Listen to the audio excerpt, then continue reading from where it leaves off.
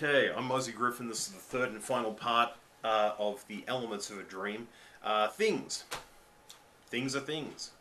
Things are used, uh, much like technology is used today, to try and illustrate uh, or act as a foil for some metaphor in your mind. It's, as I said, a dream is all wordplay, so you have to look at what something uh, means in terms of a sentence. That sounds a bit odd, however, follow me on this one.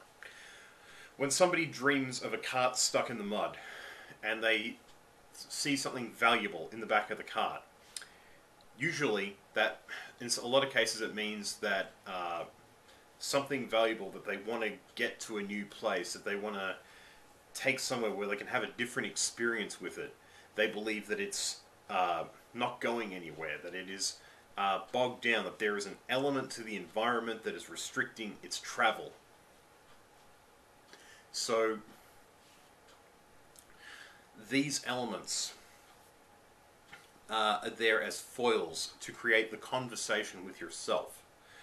The uh, only difference is when you're dreaming about something, a physical object that actually concerns you in your real waking life.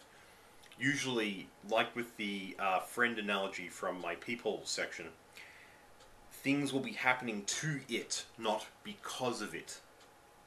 It goes from being the object of attention and the need for intervention to, uh, which is when you're dreaming about something.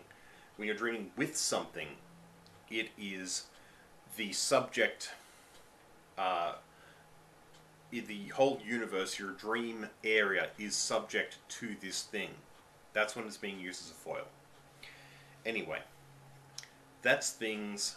They're usually grouped in like areas, as I said in my uh, places section.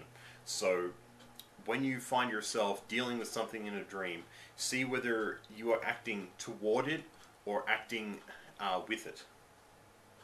Anyway, that's part three, and I'll get into my process in the next part.